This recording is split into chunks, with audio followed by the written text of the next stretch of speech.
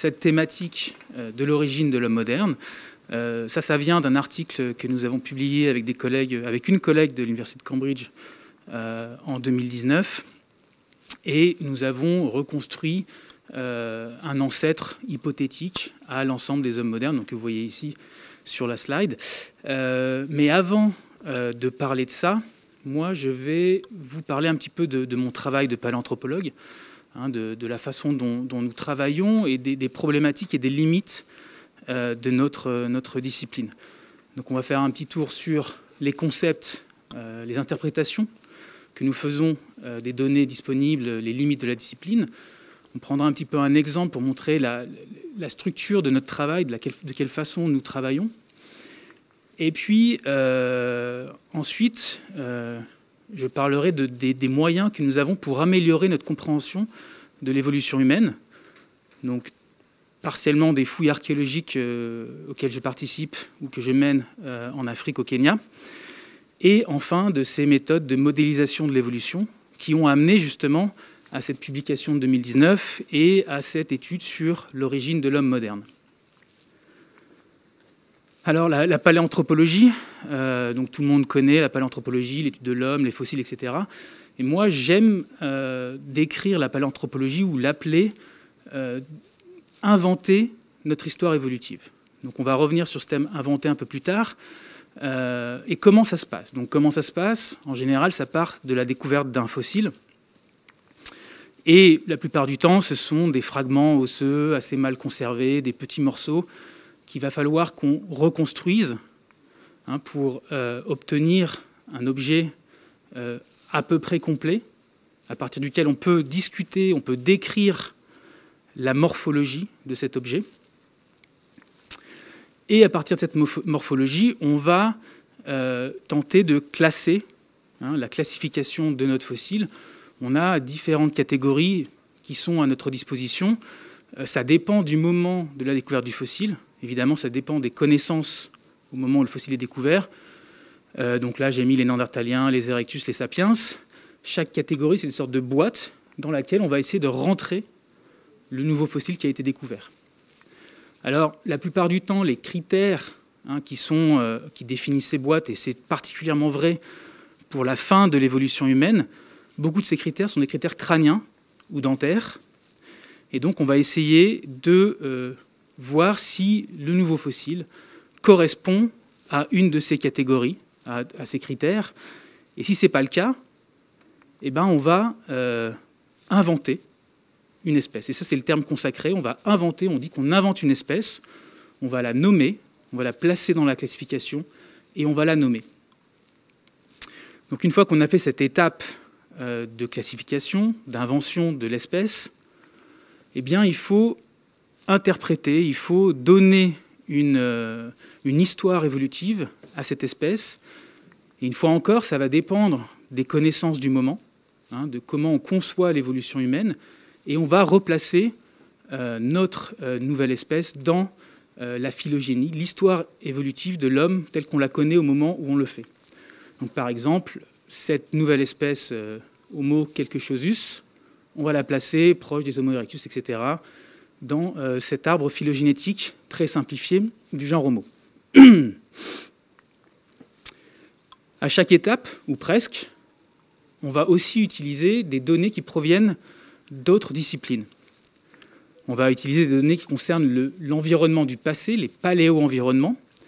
Et ça, c'est particulièrement important au moment où on décrit la morphologie de l'individu, et on va se servir de ces descriptions pour euh, classifier le spécimen.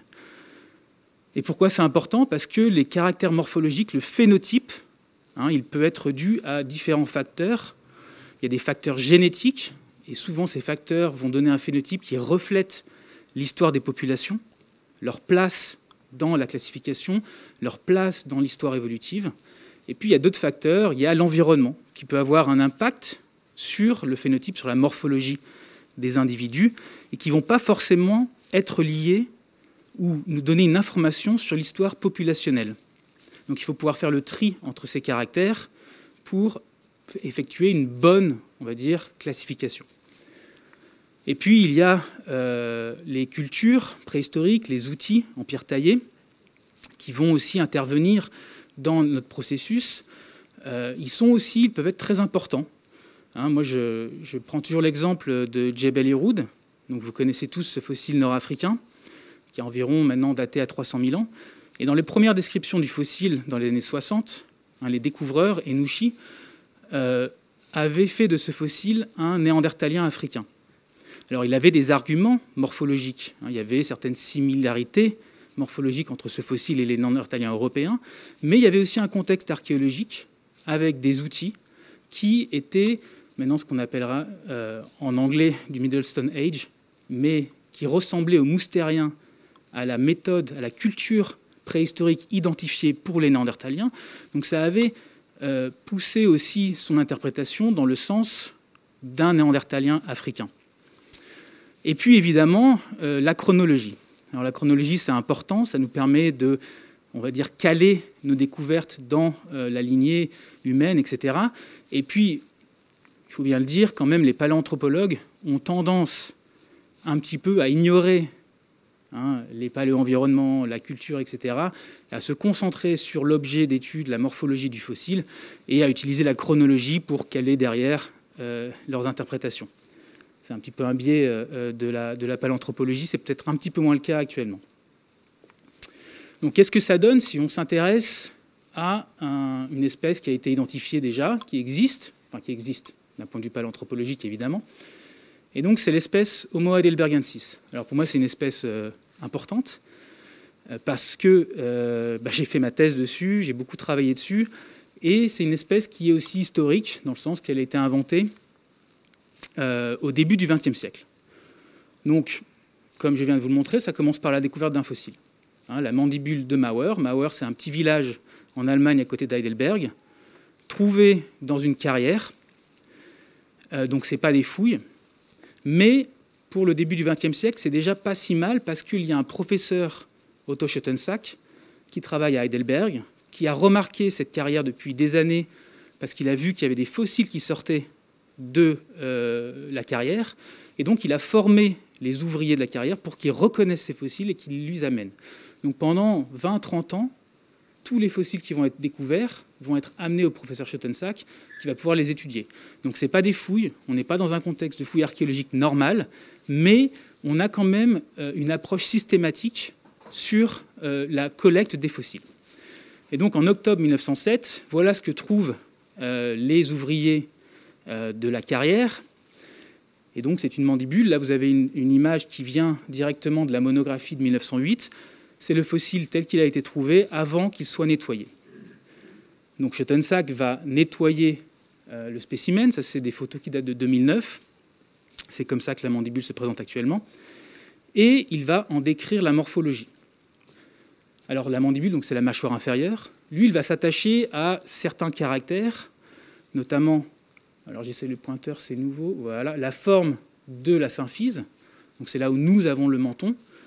Euh, ce spécimen n'avait pas de menton. Euh, la taille des branches montantes qui connectent la mandibule au reste du crâne. Et puis la forme et la taille des dents.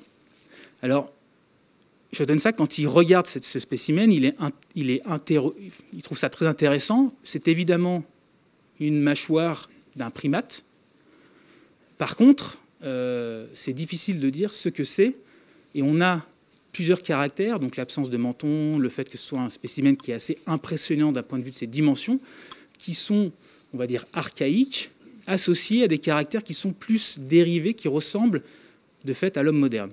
Et ça, c'est les dents. Les dents sont relativement petites en taille, et leur morphologie est tout à fait similaire à celle que nous avons nous.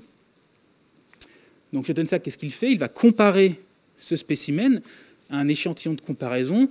À l'époque, il avait quelques néandertaliens, des hommes modernes, et puis des grands singes. Et il faut bien voir que pour classer son spécimen dans la classification, euh, l'échantillon de comparaison, c'est une contrainte. Hein. on a ce qu'on a au moment où on l'a. C'est-à-dire qu'à l'époque où la mandibule est découverte, Schottensack a très peu d'individus à sa disposition, et donc il ne va pas réussir à intégrer ce spécimen à l'un des groupes, à l'une des boîtes qui existent. Il va donc inventer, ah, j'ai un peu vite là, pour lui, le spécimen ressemble trop au grand singe pour entrer euh, dans la boîte néandertalienne ou homme moderne, et il est trop humain pour les catégories euh, des grands singes, gorilles ou chimpanzés. Donc il invente, il invente une nouvelle espèce, Homo heidelbergensis en 1908. L'étape suivante, il faut intégrer ce nouveau taxon, cette nouvelle espèce, dans l'histoire évolutive de l'homme. Donc on a vu que l'échantillon de comparaison, c'était une contrainte, mais les connaissances de l'époque sont aussi une contrainte. On a une vision graduelle de l'évolution à l'époque. Et en, gros, on va avoir euh, cette évolution graduelle de, des grands singes ou de l'ancêtre commun aux grands singes et aux hommes modernes, jusqu'à l'homme moderne en passant par les Néandertaliens. Et donc lui, il en fait le chaînon manquant entre les grands singes et les Néandertaliens. Alors ce concept de chaînon manquant, qui a été très très populaire, très important dans l'histoire de la paléanthropologie, est maintenant quasiment abandonné, sauf parfois par, euh, dans les médias et, pour le grand public, mais parce que c'est un concept qui est très difficile à définir et qui n'a pas d'existence réelle. Ça reste toujours quelque chose de complètement euh, théorique. Donc, euh, Schottensack, il a fait exactement ce que je vous ai décrit avant, et il a fait aussi en intégrant des données qui provenaient d'autres disciplines. Parce que comme ça faisait des années qu'il regardait les fossiles qui sortaient de la, carrière, il avait remarqué qu'il y avait des animaux qui sortaient de cette carrière et qui n'existaient plus actuellement. Ici, vous avez euh, un maxillaire d'éléphant vu de, dessous, donc on voit les dents. Et évidemment, en Allemagne, au début du XXe siècle, il n'y a pas d'éléphant. Donc il savait bien que c'était quelque chose de très ancien, avec un environnement différent il a établi une chronologie et il a dit que c'était probablement de la fin de l'ère tertiaire. Bon, en fait, c'est du quaternaire, ça a 600 000 ans à peu près, mais bon, dans, le contexte du début du XXe siècle, il avait utilisé toutes ces données pour, euh, euh, euh, correctement classer et correctement interpréter l'histoire évolutive de son, de son fossile. Alors, est-ce que c'est la fin de l'histoire pour cette espèce Homo heidelbergensis ben, Pas du tout.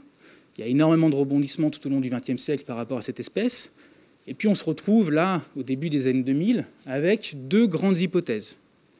Alors Homo heidelbergensis, à partir des années 80, on commence à parler d'une hypothèse afro-européenne en disant, voilà ces fossiles-là, 600 000 ans, c'est le Pléistocène moyen.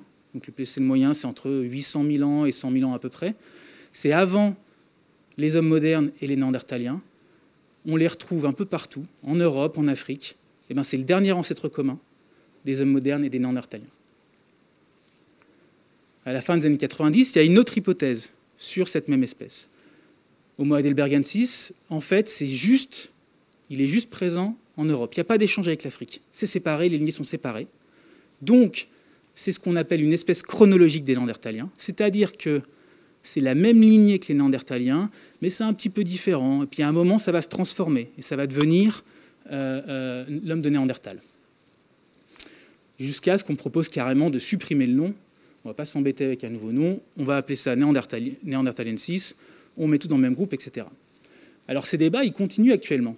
Il y a des nouvelles études en génétique qui apportent de nouvelles informations et qui contredisent en fait les deux hypothèses.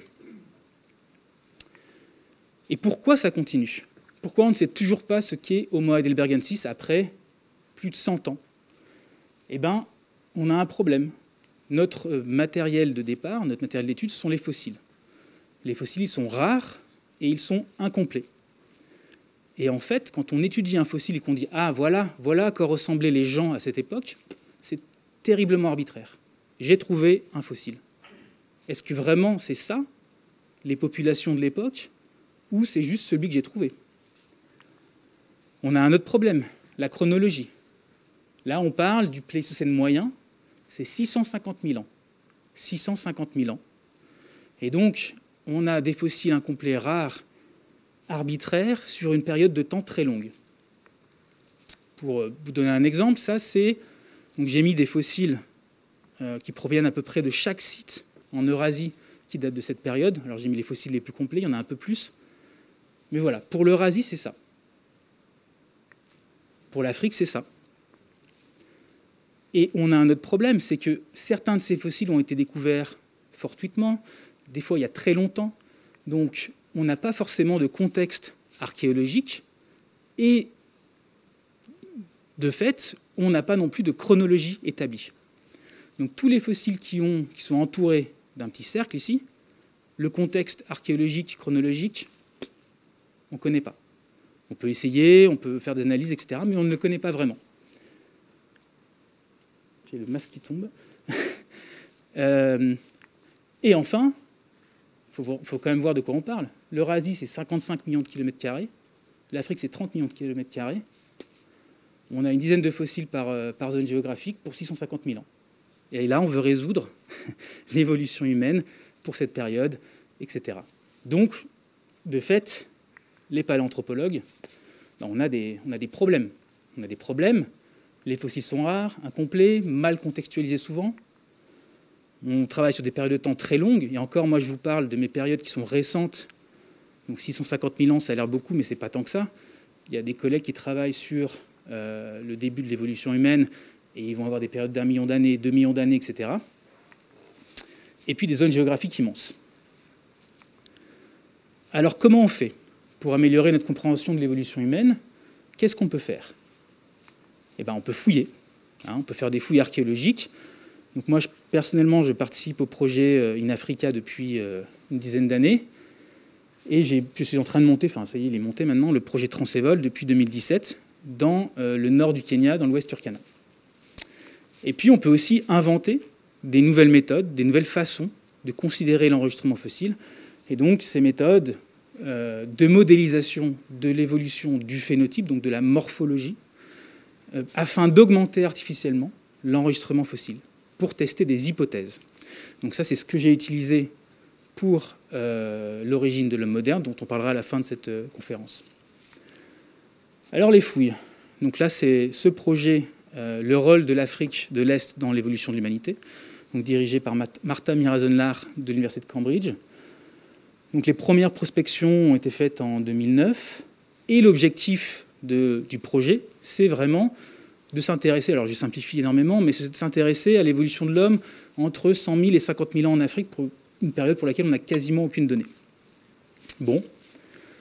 Euh, au cours des années, il y a plus de 18 sites qui ont été identifiés.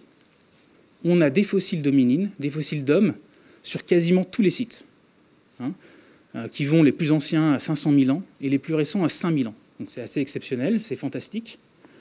Euh, c'est particulier comme endroit.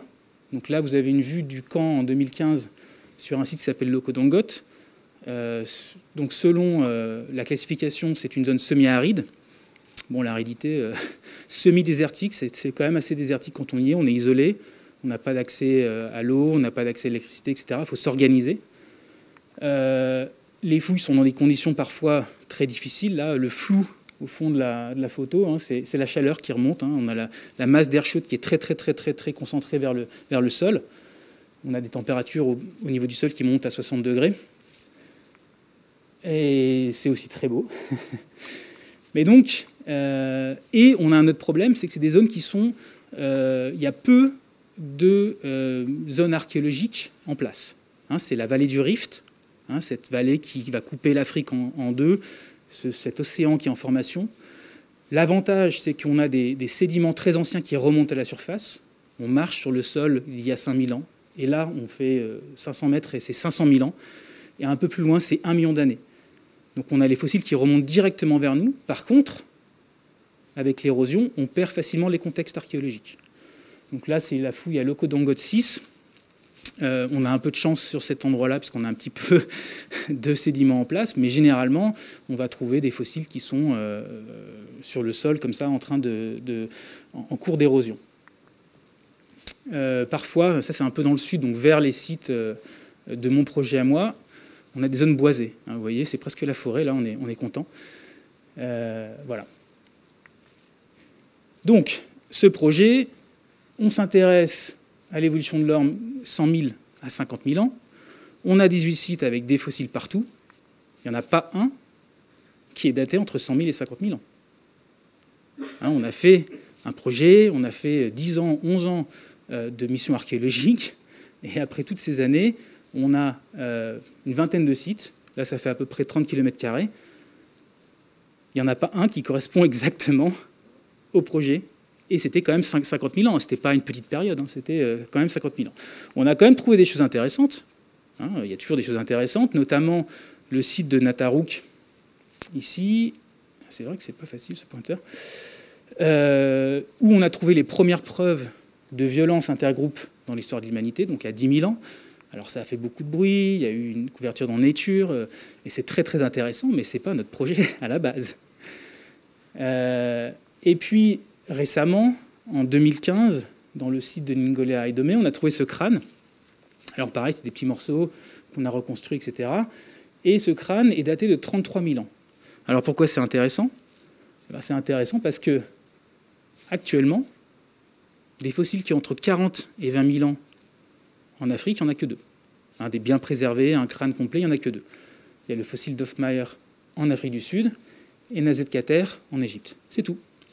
Donc on trouve un fossile et on augmente de 30% la base de données sur 30 millions de kilomètres carrés. C'est assez incroyable, mais c'est ce qui se passe en paléanthropologie. Alors bon, on l'a quand même euh, analysé ce fossile. L'étude n'est pas encore publiée, mais c'est en cours. Ne paniquez pas trop sur cette image euh, un peu, particulière. Mais on a fait une analyse de la morphologie en 3D des crânes. Euh, on a différents groupes de comparaison. En bleu, c'est l'Europe au paléolithique supérieur. Ici, c'est euh, des fossiles nord-africains qui ont 15 000 ans. Ici, des fossiles est-africains qui ont entre 15 et 5 000 ans. Et au milieu, quelques sud-africains actuels. Et on s'est rendu compte en projetant nos spécimens dans, ce, dans cet espace morphologique qu'il y avait une différence assez forte, en tout cas pour le spécimen d'Hofmeyer, qui se rapproche fortement des fossiles européens du Paléolithique supérieur, alors que euh, Nazet-Kater et notre spécimen de Ningolea sont beaucoup plus proches des fossiles est-africains d'il y a environ 15 000 ans. Évidemment, on n'a pas les fossiles d'il y a 20 000 ans, on n'a pas les fossiles d'il y a 40 000 ans pour comparer en Afrique avec ces spécimens.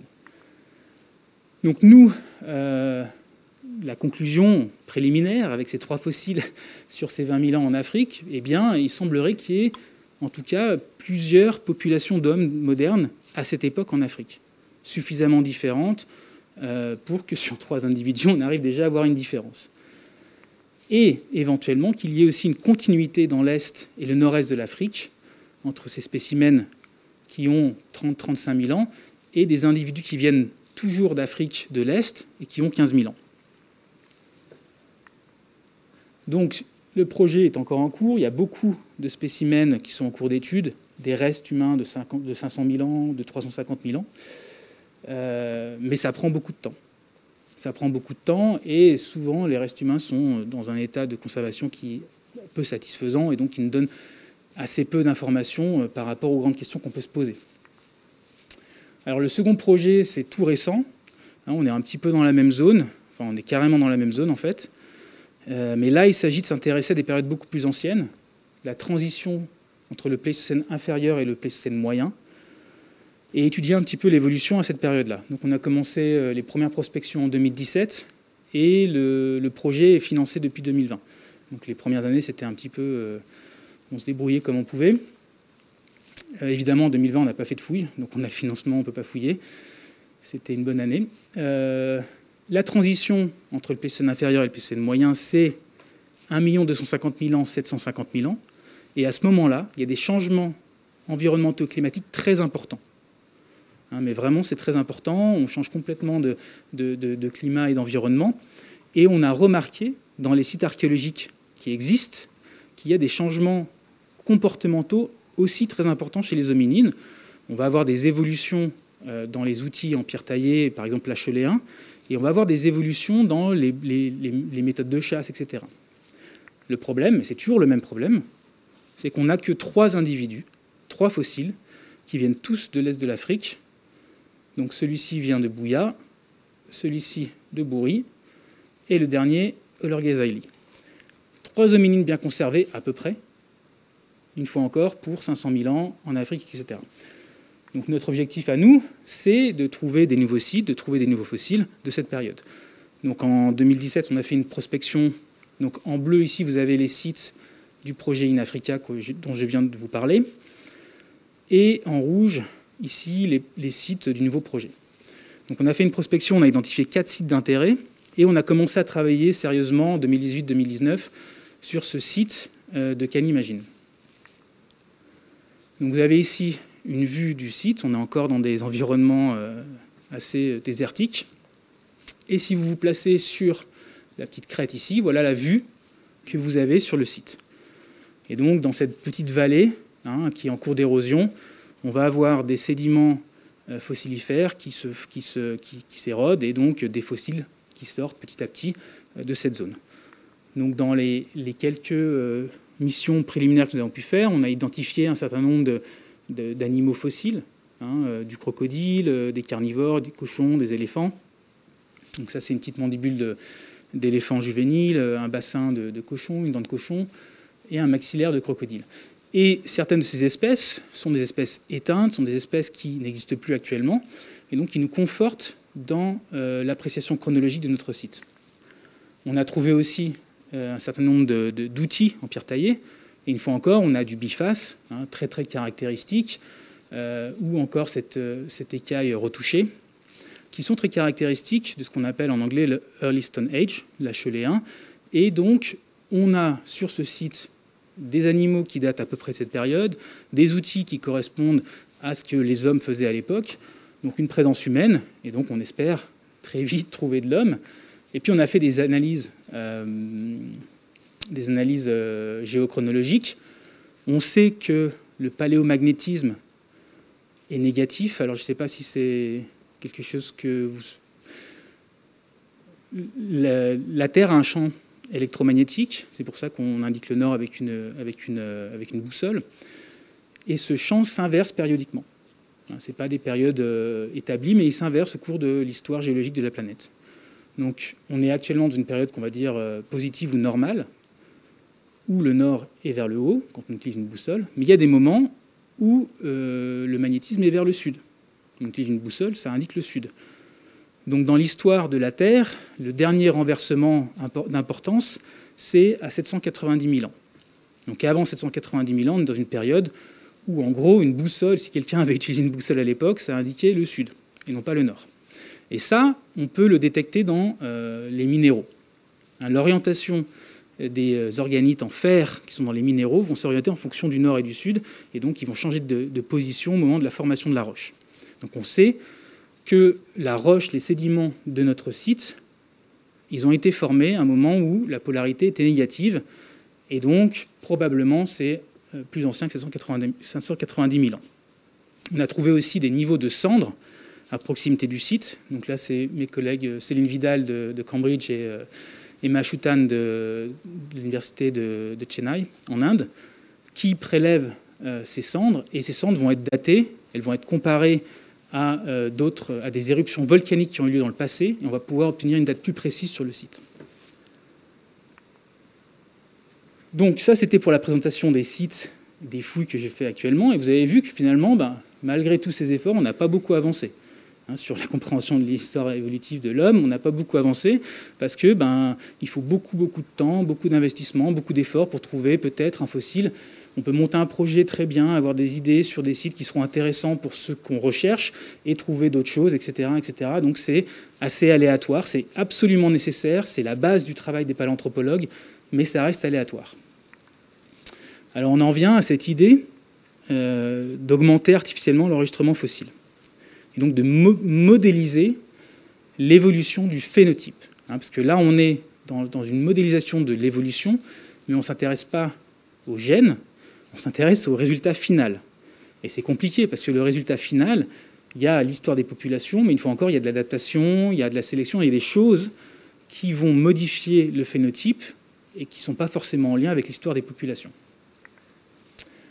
Alors on a vu que la, paléanthropologie, donc on a l'enregistrement fossile, les fossiles, qui sont rares et sont incomplets. On a une chronologie qui est difficile à établir, et, donc la diversité morphologique des populations du passé, malgré tout, on a toujours du mal à la comprendre. Alors il y a des outils hein, pour étudier les fossiles que nous avons à disposition, notamment la morphométrie géométrique, Et la morphométrie géométrique, contrairement à ce que je vous ai montré sur Homo heidelbergensis, sur la façon dont Schottensack avait décrit le spécimen, etc., qui était basé sur l'observation de caractères discrets, la forme euh, du bourrelet supérieur, la forme de l'occipital, etc. Là, on va prendre, on va mettre des points en trois dimensions sur le crâne, et ça va décrire la morphologie complète, globale, du spécimen.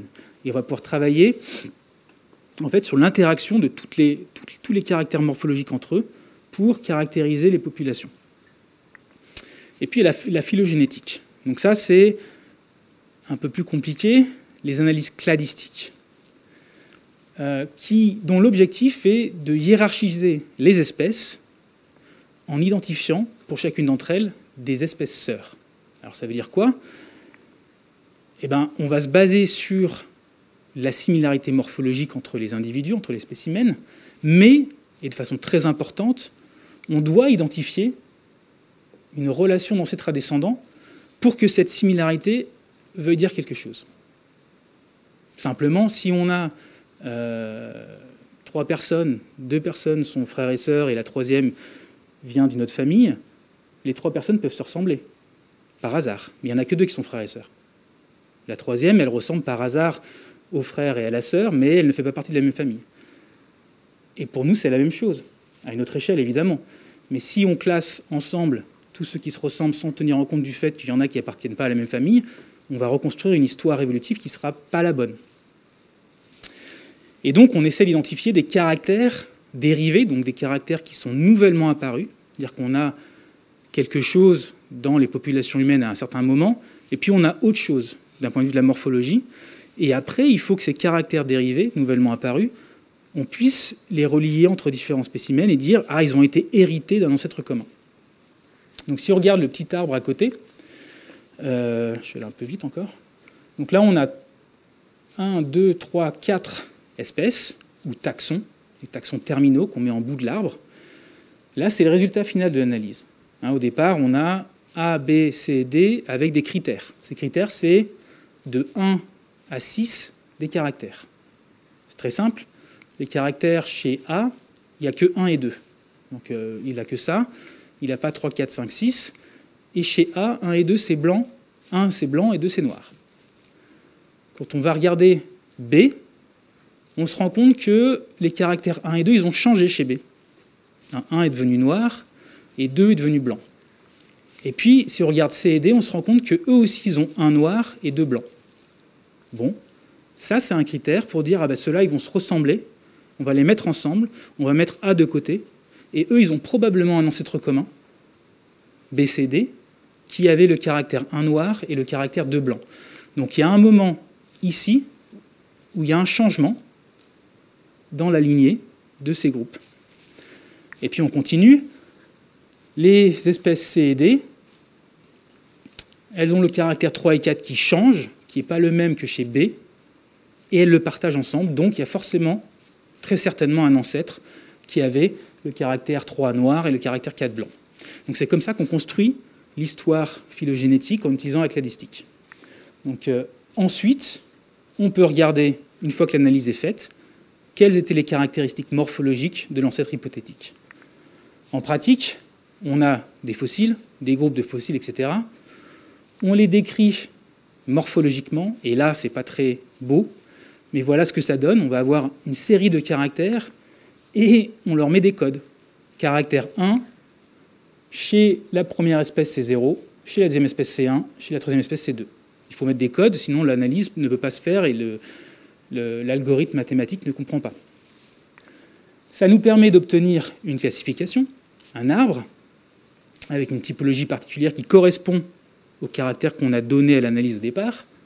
Ça nous permet de tirer de l'analyse la morphologie de l'ancêtre hypothétique, mais une fois encore, ça reste une liste de numéros qui correspondent à des caractères morphologiques, etc. Mais c'est une fois de plus pas très beau ni très euh, facile à comprendre. Ensuite, on peut rajouter la chronologie, puisqu'on connaît en théorie les dates des différents taxons. Nous, ce qu'on veut faire, c'est reconstruire l'ancêtre virtuel et calculer ces ancêtres hypothétiques en trois dimensions. Ce qu'on veut, c'est ça.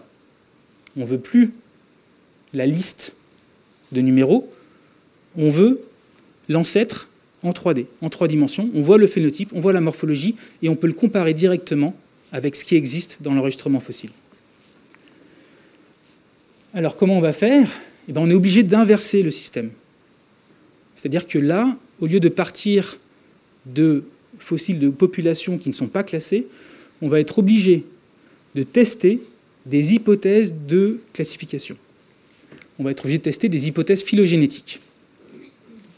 Une fois qu'on a établi l'hypothèse qu'on veut tester, on va utiliser la similarité morphologique en trois dimensions, donc la, morphométrie géométrique, la relation d'ancêtre-descendant, pour remonter le temps et donc calculer la morphologie de l'ancêtre hypothétique virtuel. Une fois qu'on a fait ça, on va pouvoir comparer cet ancêtre au fossile de l'enregistrement fossile. Parce que moi, quand je teste mon hypothèse, par exemple ici, on va regarder l'ancêtre commun des néandertaliens et des hommes modernes. Dans mon modèle, je vais mettre du néandertal, de l'homme moderne, des premiers représentants du genre Homo, mais je ne lui mets pas les fossiles potentiellement qui représentent le dernier ancêtre commun des hommes modernes des néandertaliens. Ça, je ne lui donne pas l'information. De toute façon, je ne suis pas certain, moi, de ce que j'ai mais on va le calculer et après on pourra le comparer. Pour ça, il faut, alors ça c'est un peu compliqué, il ne faut pas trop s'en inquiéter, mais il nous faut un modèle d'évolution.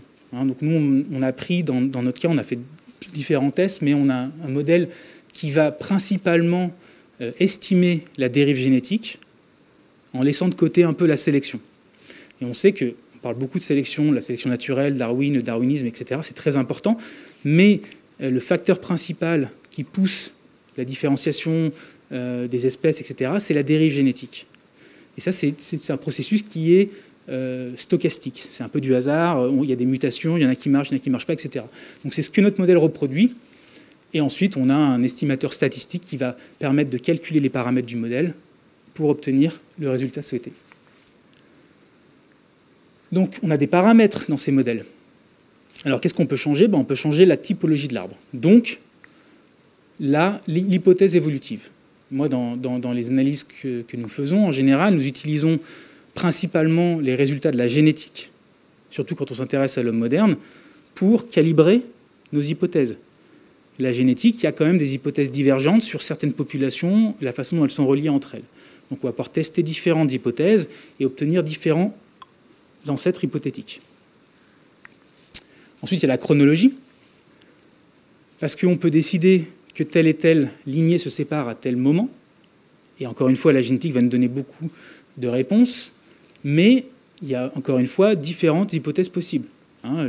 la séparation entre les hommes modernes et les néandertaliens, ça, change, ça a changé beaucoup au cours du temps. Maintenant, on parle peut-être de 500 000 ans, mais c'est peut-être 700 ou c'est peut-être 400, etc. On peut tester ce, genre d'hypothèse. Et puis ensuite, quel type de données on va donner au modèle? Bah, C'est la morphologie telle que euh, décrite par des points repères. Donc là, on en a quand même beaucoup. On a 780 points repères. Donc c'est à chaque fois, chaque point a des coordonnées x, y, z qui vont décrire la morphologie de nos individus, de nos populations dans l'espace.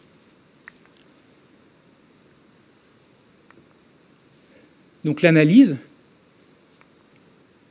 on va remonter le temps, donc on utilise les estimateurs statistiques dans le cas du Mont Brownien, pour obtenir au point, au nœud d'intérêt, dans la pratique on va obtenir tous les nœuds de l'arbre, ce qu'on appelle des coordonnées 3D ancestrales. Maintenant, moi, je veux un modèle virtuel, je veux le phénotype, je veux la morphologie. Alors comment je passe de ça, même si déjà on a beaucoup d'informations, mais on n'a quand même pas le fossile virtuel? Eh bien, je vais prendre un homme actuel, je vais mettre les points repères les mêmes que j'ai calculés pour l'ancêtre, je vais aligner ces points repères avec ceux de mon ancêtre,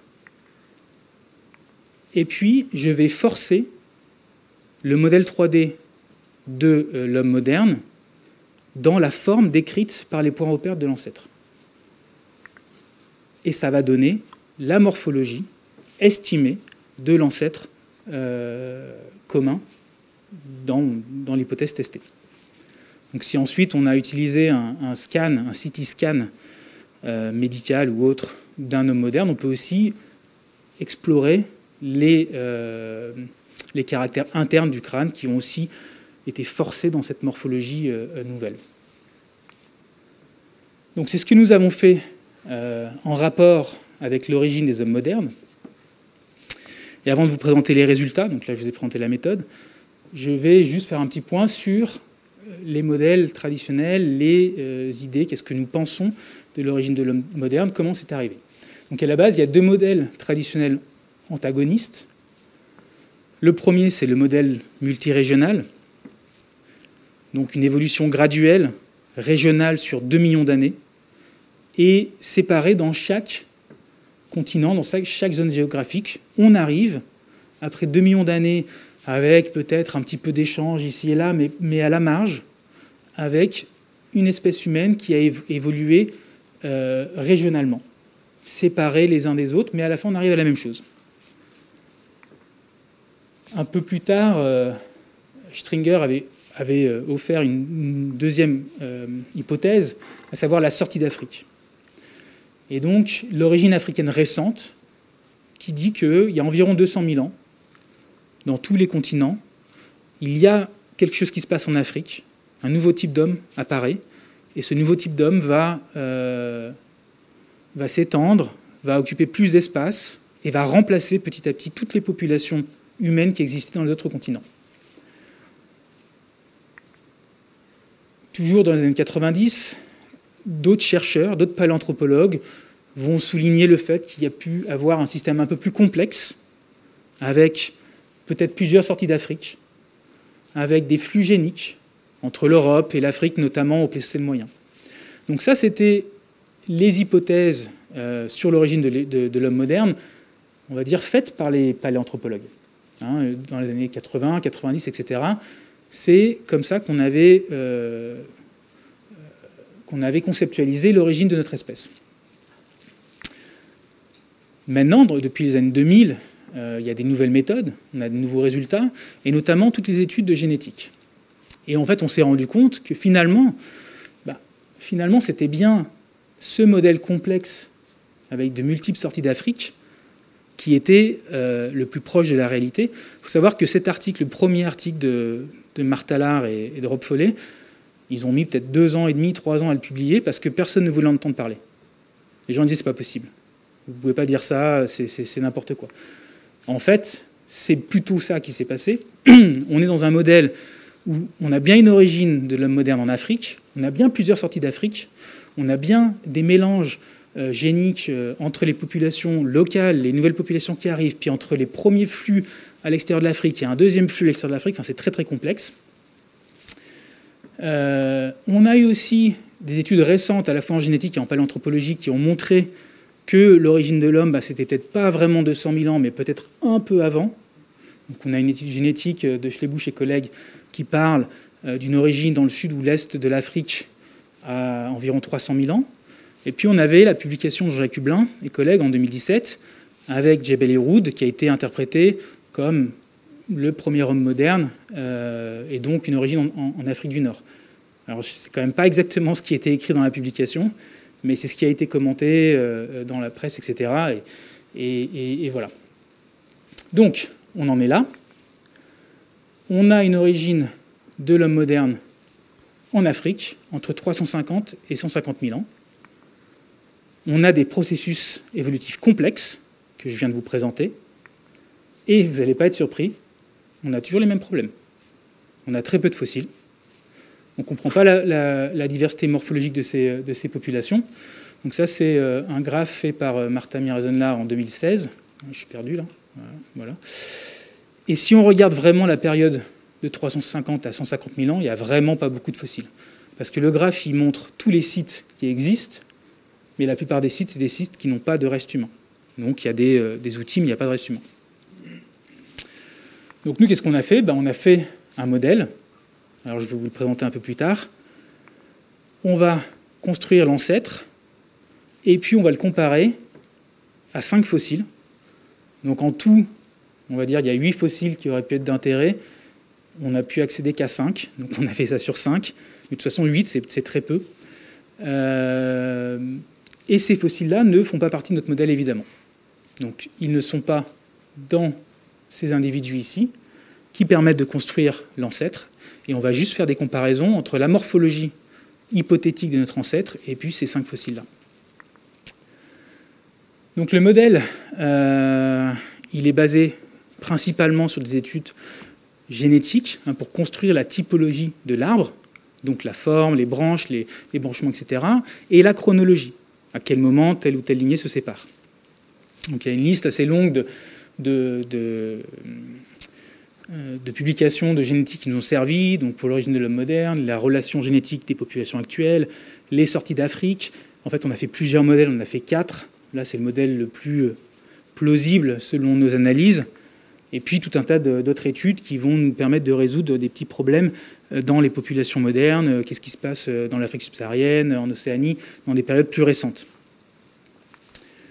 Nous, d'un point de vue des individus qu'on a mis dans l'analyse, c'est 263 spécimens qu'on a décrits avec ces 780 points que je vous ai montré tout à l'heure. on a quelques représentants des premiers représentants du genre Homo, Habilis, Ergaster, Georgicus. On a quatre populations de néandertaliens, donc cette partie-là de l'arbre, c'est plus de la paléanthropologie que de la génétique. On n'a pas de données sur les, euh, sur les premiers représentants du genre Homo. Les néandertaliens, il y a eu des études génétiques, il y a eu des, euh, des modélisations qui indiquent qu'il y a plusieurs populations. Donc on a repris ces, études, ces modèles, euh, pour créer nos quatre populations. Et puis ensuite, à partir de là, bah, c'est vraiment un, un, consensus, en tout cas sur cette, phylogénie-là, de, euh, de nos connaissances en génomique, etc., sur euh, euh, l'évolution de l'homme moderne. Donc ça, c'est une image un peu spéciale. C'est une projection dans un espace qu'on appelle morphologique, en trois dimensions. Donc on a un axe, je suis perdu, ici, un autre là et un autre là. On a projeté la morphologie moyenne des populations dans cet espace pour voir leur proximité. Hein, c'est une façon de voir si les Néandertaliens sont proches ou pas des premiers Homo, etc. Et on s'est rendu compte qu'il y avait quelque chose d'assez intéressant. Donc on a les populations des premiers représentants du genre Homo ici, les Homo néandertalis ici, et là-bas les hommes modernes. On a projeté en plus la morphologie hypothétique de tous les ancêtres de l'arbre, donc tous les petits points au milieu, c'est calculé. Hein, c'est calculé et on a relié ces points avec notre hypothèse phylogénétique pour visualiser l'arbre en entier avec tous les taxons terminaux, donc toutes les espèces qui sont au bout de l'arbre, tous les points intermédiaires, et puis les branches.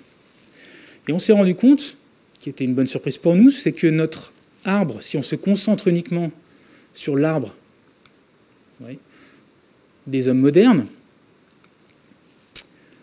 on s'est rendu compte que la morphologie moyenne des populations, elle correspondait plus ou moins à l'hypothèse, à une des hypothèses de la sortie d'Afrique.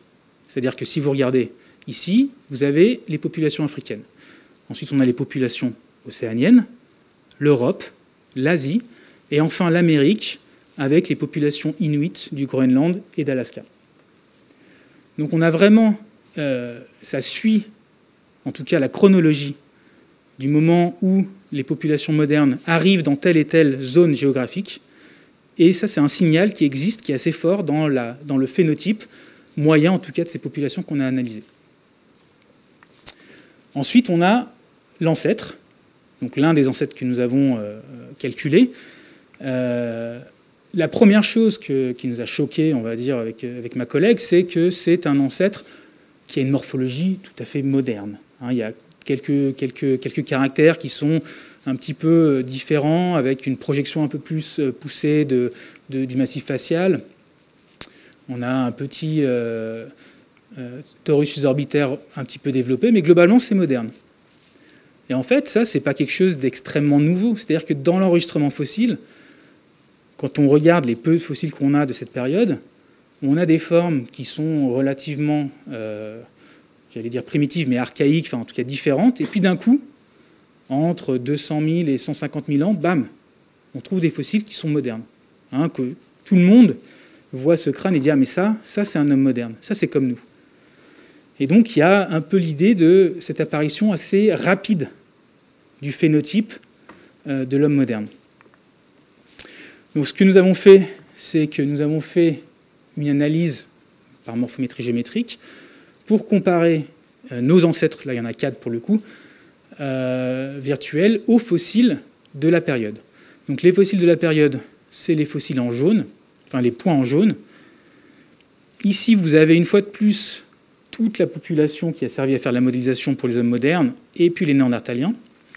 On retrouve dans cette analyse cette histoire de sortie d'Afrique, avec l'Afrique ici, l'Océanie, l'Europe, l'Asie et l'Amérique la plus éloignée euh, du point d'origine. Et de ce côté, les premiers Homo sapiens hein, d'il y a environ 100 000 ans. Au milieu de ça, on a ce que j'ai appelé ici, parce que c'est une image de la publication en anglais, les VLCA, donc les Virtual Last Common Ancestor, les, derniers ancêtres communs euh, virtuels, qui sont tous dans cette zone, avec accompagnés de Florisbad et de ce point KNMES 11693. Donc on a déjà, on peut voir que nos, nos ancêtres virtuels sont assez modernes. Ils sont néanmoins plus proches des premiers Homo sapiens d'il y a 100 000 ans. Donc là, on parle de School et de Kavzé. Et ils sont proches de certains fossiles du Pléistocène moyen, donc de, cette période-là où euh, l'homme moderne apparaît, mais on ne sait pas très bien comment et on ne sait pas très bien quels fossiles représentent les populations originelles.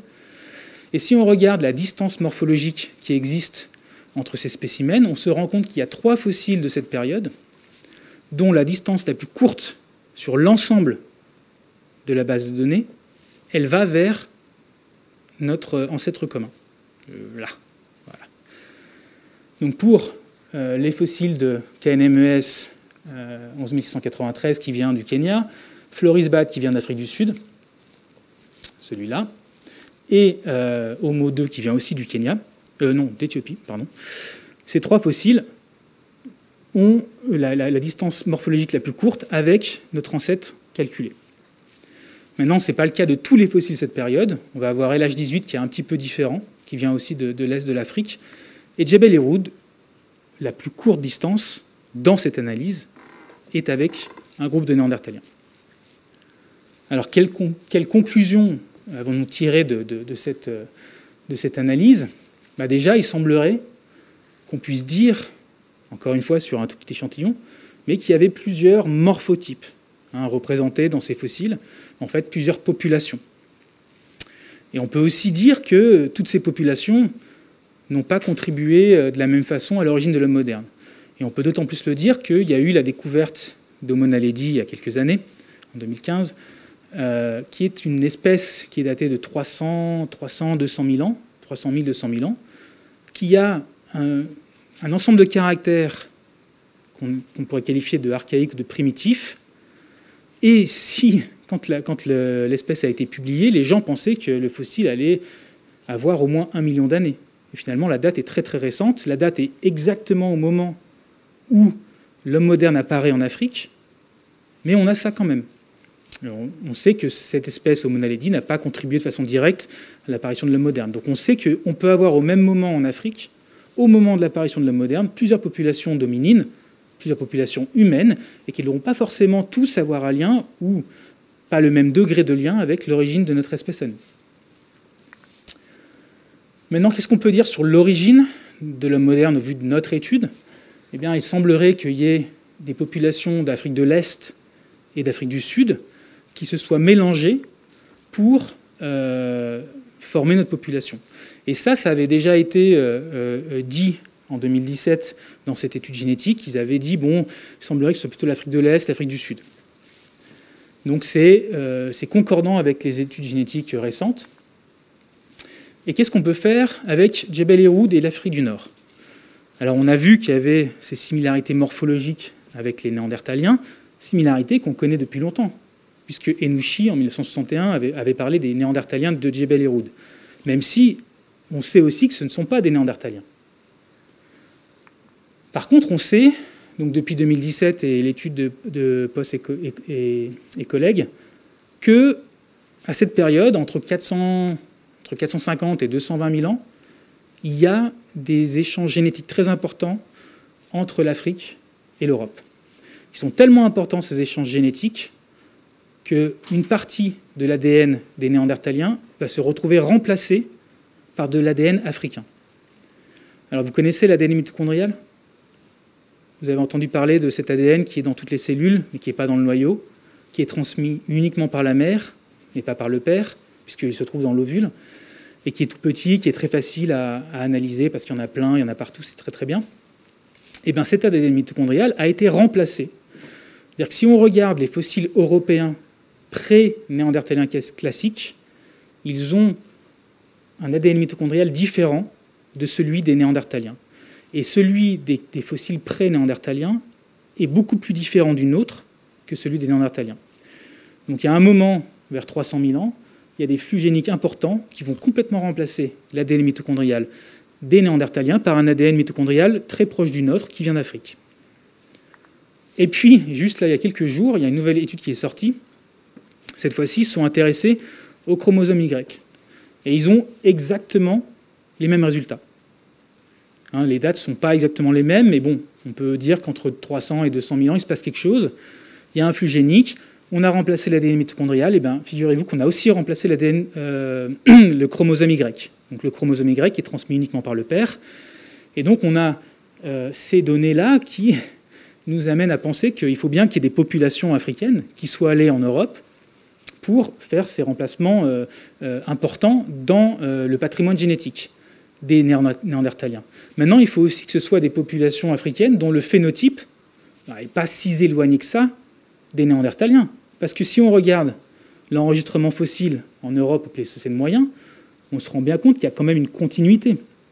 Hein, que les fossiles de la Cima de los Huesos ou de la cône de l'Arago, ils ont des caractères morphologiques qui ressemblent déjà aux Néandertaliens. Ils sont proches, on les voit, on, on sent qu'ils sont proches. Donc il y a une continuité morphologique en Europe à partir de 600 000 ans jusqu'à, jusqu'au néandertalien classique. Et cette continuité morphologique, elle n'est pas chamboulée par l'apport génétique qui vient d'Afrique il y a 300 000 ans. Et pourtant, cet apport génétique, il vient quand même. Donc, nous, au vu de ces éléments, on s'est dit qu'une interprétation possible pour les populations représentées par Jebel Eroud, évidemment pas Jebel Eroud, pas cet individu-là, mais les populations que ce fossile représente, eh bien, elles pourraient être responsables hein, du fait de leur morphologie qui, déjà, sous certains aspects, a des caractères proches des Néandertaliens. Elles pourraient être responsables de ces populations qui amènent euh, euh, l'ADN mitochondrial, le chromosome Y, tous ces flux géniques vers l'Europe au Pléistocène moyen. Alors j'ai bientôt fini du coup, je suis juste à l'heure. Euh, donc, en conclusion, de cette étude sur l'origine de l'homme moderne. C'est un processus complexe, l'origine de notre espèce. Euh, on sait qu'il y a plusieurs lignées dominines en Afrique. On sait que certaines lignées se sont mélangées pour former notre espèce, plutôt d'Afrique du Sud et de l'Est.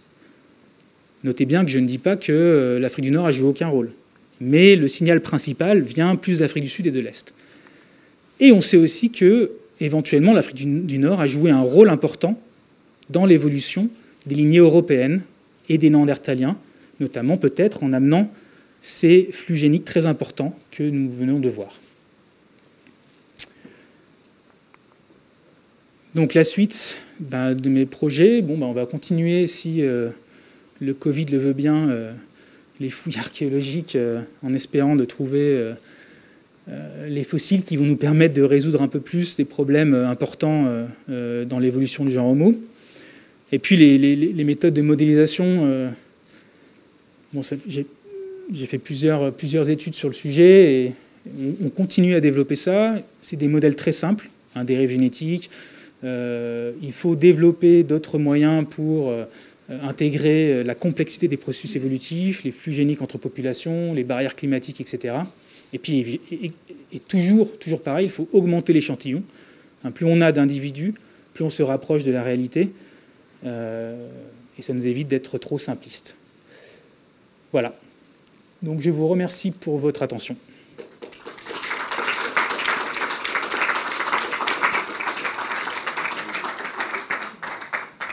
Merci beaucoup Aurélien Mounier. On va peut-être passer aux questions. Donc, je vous rappelle la nouvelle règle de nos rencontres liée aux conditions sanitaires actuelles. Nous ne vous tendons pas le micro. Marine et moi, nous sommes près de vous. Nous écoutons vos questions et nous les donnons. Ensuite, nous les lisons, nous les transmettons aux conférenciers. Alors, la première question. Bonjour, je suis sûr de. Je suis pas sûr vous, vous, me la donnez à moi, s'il vous plaît. Je ne suis pas sûr d'avoir bien compris le lien entre le ferromagnétisme et le, volcanisme qui a permis d'identifier, euh, de diagnostiquer le changement de, de champ d'orientation du champ magnétique terrestre. Et savoir Alors votre question est très longue, il va falloir que vous la reformuliez d'une manière plus rapide parce que je n'arrive pas moi-même à la résumer. Excusez-moi. Vous, pouvez peut-être la décomposer et me laisser oui, mais c'est pour l'enregistrement aussi. Euh, audio, c'est important. Il y a aussi le, lien entre. Quel est le lien Avec les, changements climatiques importants. Avec les changements climatiques importants qui ont été mentionnés. À, cette époque-là. À cette époque. Et la première partie de votre question, c'était Le lien entre le, magnétisme. Le lien entre le magnétisme. Dans les, dans les, dans les minéraux contenant. Dans les minéraux contenant du fer, et, et, le, et, les cendres. Et les cendres. Donc, euh, je pense qu'il y a une orientation euh, par rapport. Euh, pour les, les cendres vont être sensibles mais, je ne sais pas, pas comment ça marche. Alors, pour les cendres et le champ magnétique, il n'y a pas de lien. C'était deux choses différentes. Hein, on a le champ magnétique d'un côté qui nous donne une information qu'on a analysée, donc on a l'information, et les cendres qu'on a découvertes l'an dernier, qui devaient être analysées euh, au mois de mars à Cambridge. Les labos ont fermé, on ne les a jamais analysées, mais ça va sûrement se faire maintenant. Euh, donc c'est deux choses différentes. Monsieur, s'il vous plaît, Excusez-moi, les échantillons... je vais vous laisser Aurélien Mounier répondre à votre question, puis on va si vous avez une autre question, vous la poserez Les échantillons, euh, on peut faire du paléomagnétisme dans les cendres aussi. Mais bon, c'est pas ce qu'on a fait. On a fait du paléomagnétisme sur des échantillons particuliers. Les cendres, on peut les dater de façon différente. On peut les dater par des méthodes isotopiques, l'argon-argon, etc., ou on peut simplement faire des corrélations. C'est-à-dire que euh, le boulot de, Céline Vidal, la personne que vous avez vue récupérer les, euh, échantillons, c'est justement d'étudier euh, les éruptions volcaniques dans le nord du rift africain et de dater et de relier les couches de cendres qu'on trouve dans les sites est-africains avec chaque volcan dont on sait exactement quand il a fait son éruption. Donc même si on n'arrive pas à dater la cendre, on va potentiellement pouvoir faire une corrélation géochimique, parce que chaque éruption a une, signature géochimique différente. Les composants euh, euh, du matériel qui est euh, propulsé dans l'air, etc., ne sont pas les mêmes pour chaque éruption, et ça nous permet de faire des corrélations d'âge, même si on ne peut pas dater, entre la couche de cendre et une éruption. Maintenant, on n'a pas fait de paléomagnétisme là-dessus. Je les ai mis à côté parce que c'était deux choses qui nous vont nous permettre d'améliorer la connaissance chronologique du site. Et la première question, j'ai oublié. Le changement climatique. Oui. Monsieur, s'il vous plaît, pardon, monsieur, il faut que vous parliez devant le micro. Je suis désolé d'insister. Sinon, on enregistre mal votre propos. Je vais reprendre la, deuxième question. Essayez de ramasser votre question le à cette époque-là, il y avait un changement climatique important. Vous avez signalé un changement climatique important. Alors, à cette époque-là. En quoi ça, oui. oui. Donc, on va développer sur le changement climatique. La, grosse différence, la première grosse différence, c'est qu'on passe de cycles glaciaires euh, qui étaient à 40 000 ans d'oscillation à des, à, des, à des cycles glaciaires de 100 000 ans. Et ça s'accompagne d'une euh, extrémisation de ces cycles glaciaires. Donc avant, il faisait, il faisait froid, il faisait chaud, il faisait froid, il faisait chaud, et après ça, il va faire d'un coup très très chaud, mais aussi très très très froid. Donc ça, ça a un impact global sur euh, l'environnement, sur la faune, sur la flore, et aussi sur les hominines. Vous voulez... Est-ce que, pardon monsieur, je suis désolé d'insister. On vous demande, s'il vous plaît, d'être concis, de donner votre question. Marine va la reprendre et Aurélien Monnier vous répondra. Aurélien, vous pouvez répondre du pupitre comme il marche pas, il marche pas? Marche pas le. Ah ça y marche. Si, il marche. Ah ça y est. Alors dites-moi, je vais, dire la suite. Ça a eu quelles conséquences au niveau migration humaine Les gens. Ben. Alors cela a eu quelles conséquences sur les migrations humaines? Bah, De fait, on ne sait pas. De, fait, on ne sait pas très bien. On sait par contre qu'il y a des. Euh, donc on ne sait pas très bien parce qu'on n'a pas, de, de fossiles, on n'a pas d'échantillons pour savoir. Par contre, au niveau des, populations de la faune, je ne suis pas un, spécialiste de ça, mais on a, euh, et surtout ce qui est intéressant par rapport à nos sites et aux endroits où on travaille, c'est qu'il y a des zones qui sont considérées comme des zones refuge. Donc on a des disparitions euh, d'espèces, notamment il y a une espèce de crocodile qu'on appelle euh, le técodon, dont j'ai montré tout à l'heure un maxillaire, qui disparaît dans la majorité de l'Afrique, c'est pas très clair, mais au moins à des fois 2 millions d'années, 1 million d'années, et nous on en retrouve. Nous, on en retrouve euh, des périodes plus récentes jusqu'à 500 000 ans. Et donc, il y a euh, des disparitions locales à cause du changement climatique, potentiellement, et des endroits où, dans cette zone, par exemple, du rift, où les conditions font qu'on a une zone refuge et les animaux, les espèces survivent plus longtemps ici qu'ailleurs. Maintenant, dans le détail, détail, exactement ce qui se passe, je ne sais pas. Autre question Oui. Alors, je, je, je vous écoute. Est-ce qu'on a réussi à dater le fossile humain ES Elias Spring. ES 11693. Euh, pas que je sache. pas que je sache. Donc ça, c'est vraiment un fossile qui a été trouvé euh, sur la plage au bord du lac Turkana. Euh, de fait, on a trouvé aussi à peu près au même endroit un bout d'humérus, très, enfin récemment en 2010. non, il n'y a, pas de date euh, sérieuse. Euh, récemment, il y a eu la date sur le spécimen de Brocanil Caboué, hein, que j'ai aussi montré dans, les slides, à peu près 300 000 ans.